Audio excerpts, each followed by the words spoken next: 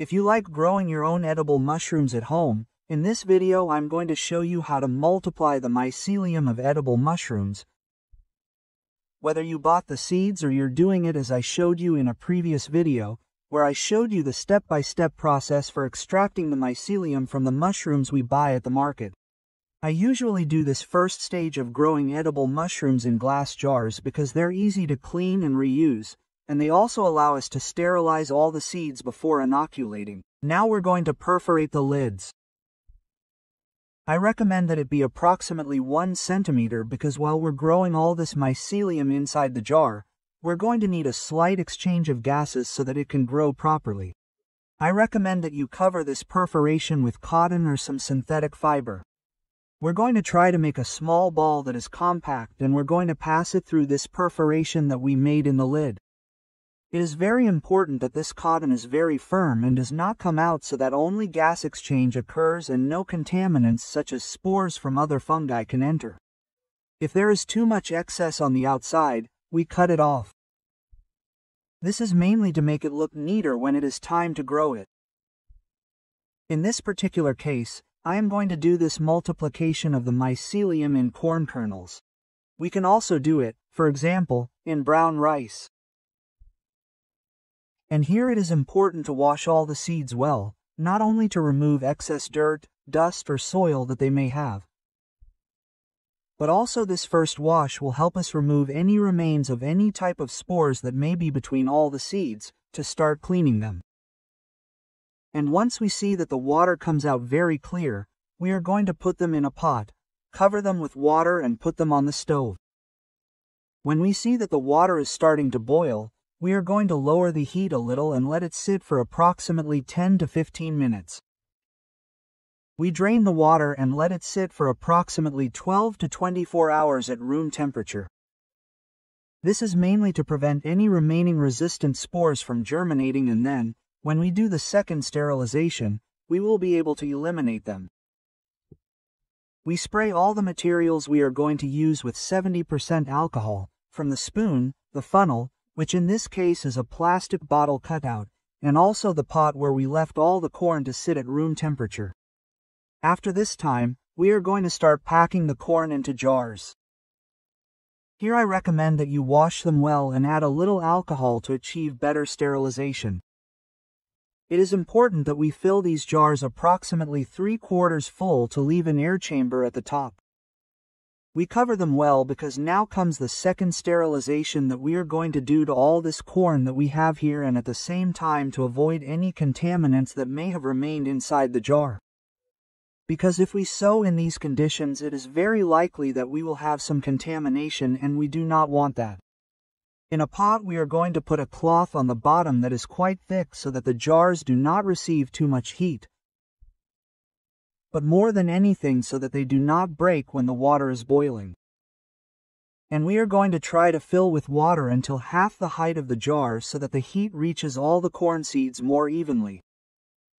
If we see that the jars hit each other because there is a lot of space, we can put some pieces of cardboard to prevent them from hitting each other when the water is boiling. We cover them and put them directly on the stove. When we see that the water begins to boil, we lower the heat and let it cook for 40 to 60 minutes. After this time, we take the jars out and let them come to room temperature before starting to inoculate. Now we're going to find a part of the kitchen that we can sterilize. In this case, I'm going to use 70% alcohol. And we're not only going to spray the entire counter well, but also all the materials that we're going to use. But it's also important that we spray the jar with alcohol where we have the mycelium that we had when we were sowing, for example, on wheat straw. Because it's very likely that there are contaminants on the outside of this jar. And when we work this way, where we're going to do something to try to keep the environment more sterile, I'm going to recommend that you have a lighter so that there's a small area where we have greater sterility. And if you don't have a lighter, you can do this on the stove. First of all, and it's important, Whether you bought mushroom seeds to start a new crop at home or you did this method that I taught you to extract mycelium from mushrooms that you buy at the market, when you're going to inoculate the substrate to start a new mushroom crop, always try to keep some seeds at the bottom of the container so that you can multiply them. In this case, I have this jar where I left some of these seeds and since mycelium grows a lot, it's normal for all the seeds, in this case corn, to stick together. And here we can use a spoon to separate them before planting. And now comes the best part, where we're going to start putting this mycelium on all these corn seeds that we have completely sterilized. And here I'm going to recommend that you put approximately one tablespoon of these seeds with mycelium for each jar, because that will be more than enough for the fungus to invade all these new seeds. Keep in mind that I'm showing you this process in front of the camera so that you can see it clearly. But it's always advisable to do it right next to the flame to avoid possible contamination. And as we add these seeds that are invaded by the mycelium, I'm going to recommend that you move them a little with a well-sterilized spoon so that they are among the new corn seeds that we are adding. And this will help to enhance all this initial growth much more to carry out this multiplication. Once we finish doing all this inoculation, we are going to leave all these jars in a drawer that you have at home.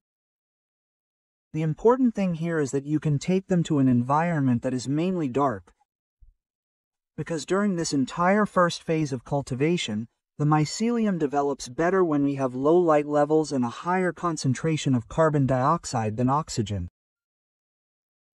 But don't worry about this because with this stopper that we made, we are going to achieve a slight exchange of gases.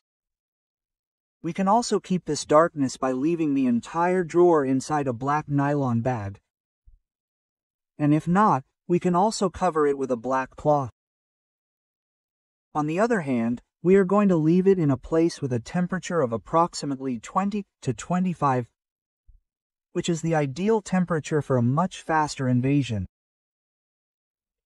Over time, what we have to see is that around each of the seeds that we inoculate, we are going to start to see that the mycelium begins to reproduce and over time, the jars are all going to turn white. This is the best sign that we have a completely pure mycelium. And, in general, since we are going to make several jars in this multiplication process, what I am going to recommend is that you separate the ones that you are going to use to inoculate in some substrate, such as wheat straw, cardboard with coffee, whatever you use at home, and the rest to stop the growth and to be able to use it much later, we are going to leave them directly in the refrigerator. Keep in mind that this way we will be able to keep them for two to three months, even a little longer. And the great advantage of this is that we will have much more mushrooms so that we will not have to buy or take out any mushrooms that we bought at the market, so that we can have a constant crop of our edible mushrooms directly at home. I send you a big greeting.